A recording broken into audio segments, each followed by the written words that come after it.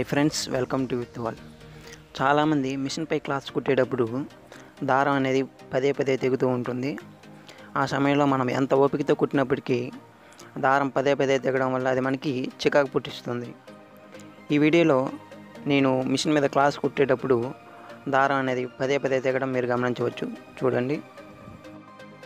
సాధారణంగా దారం పదే పదే తెగడానికి పలు కారణాలు ఉన్నాయి. అవి ఏంటంటే number one upper disc tension అనేది బాగా ఎక్కువగా ఉండడం. నెంబర్ టూ బాబిన్ టెన్షన్ కూడా బాగా ఎక్కువగా ఉండడం. అంటే బాబిన్ చాలా టైట్గా ఉండడం.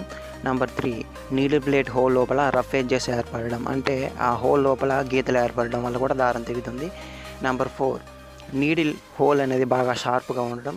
నెంబర్ ఫైవ్ నాసిరకమైన దారపుడిలు వాడటం దారం పదే పదే తెక్కకుండా ఉండాలంటే ఈ స్టెప్స్ని ఫాలో అవ్వండి. నెంబర్ వన్ అప్పర్ డిస్క్ వద్ద దారాన్ని ఒకసారి లాగి చూడండి. అది బాగా టైట్గా వస్తే దాన్ని ఈ విధంగా ఎడమవైపు తిప్పి లూజ్ చేయండి. అలాగే నెంబర్ టూ బాబిన్ వద్ద దారాన్ని ఒకసారి లాగి చూడండి. అది కూడా టైట్గా వస్తే ఈ స్క్రూని కొంచెం లూజ్ చేయండి.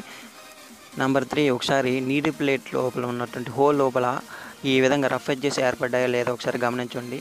ఒకవేళ ఈ విధంగా రఫ్ ఎడ్జెస్ ఏర్పడితే అంటే గీతలు ఏర్పడితే ఈ విధంగా నీటి ప్లేట్ని ఓపెన్ చేయండి.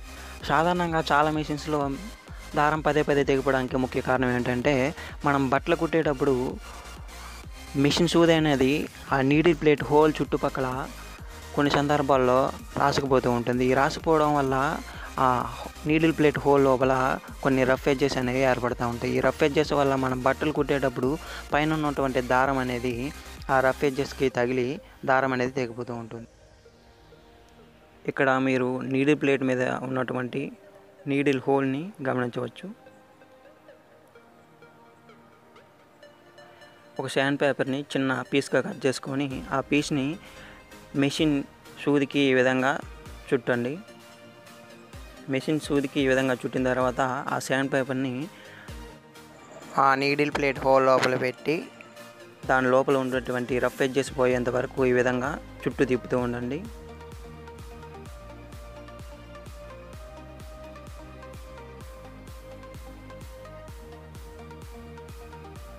ఈ విధంగా రఫ్ ఎడ్జెస్ పోయేంత వరకు ఆ హోల్ని రఫ్ చేస్తూ ఉండండి. రఫ్ చేయడం వల్ల అందు లోపల ఉన్నటువంటి రఫ్ ఎడ్జెస్ అనేవి అంటే గీతలు అనేవి పోతాయి.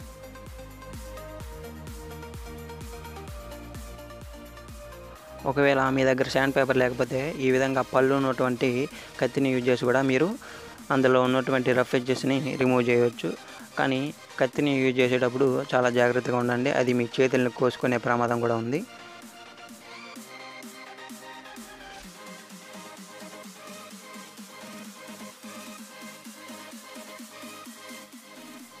రఫ్ ఎడ్జెస్ని రిమూవ్ చేసిన తర్వాత యథావిధిగా ఆ ప్లేట్ని ఫిట్ చేసేయండి.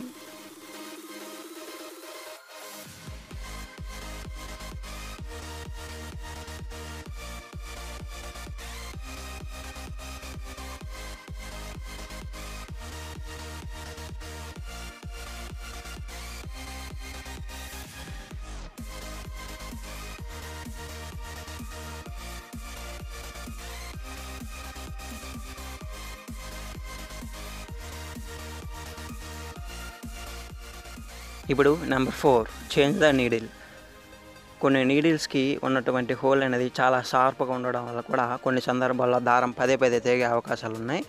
అందుకే మిషన్ సూదును కూడా మార్చండి. ఇక నెంబర్ ఫైవ్ మీరు నాసిరకమైన దారాన్ని వాడితే ఆ దారం పదే పదే తెగే అవకాశాలు ఎక్కువగా ఉన్నాయి.